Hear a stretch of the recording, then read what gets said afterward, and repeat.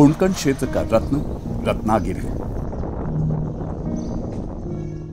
जहाँ की ज़मीन पर देश की आज़ादी के लिए लड़ने वाले रत्नों में से एक, बाल गंगाधर तिलक ने जन्म लिया। आज बड़ी संख्या में हो रहे पलायन का गवाह है। महाराष्ट्र में अरब सागर के तट पर बसे रत्नागिरी ने साल 2000 से हज़ारों लोगों का पलायन देखा है। वही खेती किसानी से जुड़ी समस्याओं से घिरा निराशा भरा जीवन जिसकी कोई सुध लेने वाला नहीं है। जिसके कारण रोजी रोटी की तलाश में आसपास के बड़े शहरों में जाना ही उनके लिए विकल्प बचता है।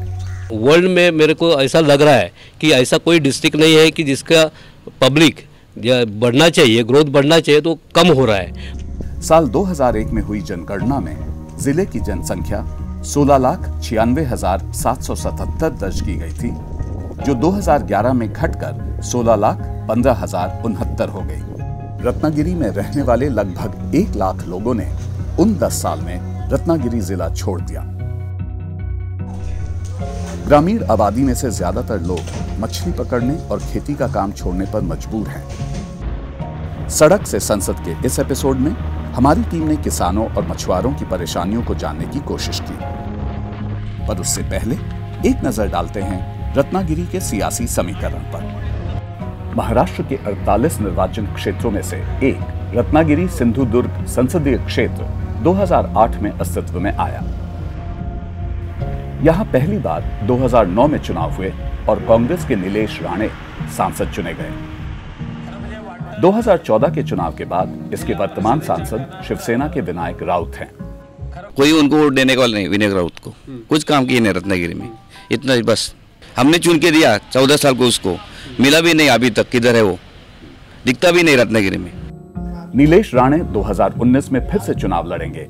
लेकिन इस बार कांग्रेस से नहीं बल्कि महाराष्ट्र स्वाभिमान पक्ष से जो 2017 में उनके पिता नारायण राणे ने बनाई थी। क्षेत्र में भाजपा और शिवसेना की मज़बूत पकड़ होने के बावजूद 2014 में आपने वोट तो दिया होगा। है ना? मोदी जी को ही दिया होगा बीजेपी को। हाँ बीजेपी को दिया है। अभी देखो इंडिया में सबसे अच्छा प्रधानमंत्री बनने लायक जो है वो मोदी जी है।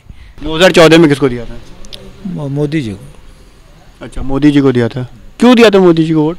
मोदी जी अच्छा आदमी है। मोदी जी क्यों माँगता है? मोदी जी का फैमिली देखो। उनका अकाउंट देखो। उनके भाई बहन इसका इसका खाता देखो और बाकी के जो नेता है ना उनका देखो। नीलेश राणे के लिए युवाओं में काफ़ी उत्साह है। लेकिन नीलेश ने बोल के भी दिखाते करके भी दिखाते हैं। कुछ और भी करके दिखा देते हैं कई बार। कुछ भी बोल देते हैं। नहीं बोलते हैं वो करके दिखाते ना हाँ। आदत है उनकी वो तो। सामने वाले पीछे से नहीं बोलते हम। पर क्या यह उत्साह राणे की जीत तय कर पाएगा ये देखना अभी बाकी है।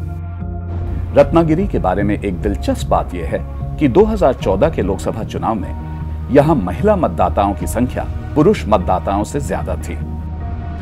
रत्नागिरी, देश के सबसे अच्छे लैंगिक अनुपात वाले जिलों की सूची में पाँचवें स्थान पर आता है। यहाँ 1000 पुरुषों पर 1122 महिलाओं का अनुपात है।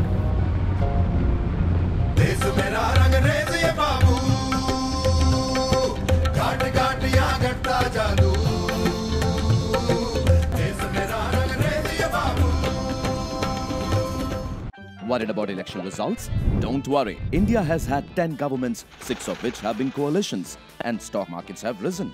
Elections don't matter. Log on to quantumamc.com to know more. Quantum Mutual Fund. Investor first. Hamesha. Mutual fund investments are subject to market risk. Please read all scheme related documents carefully.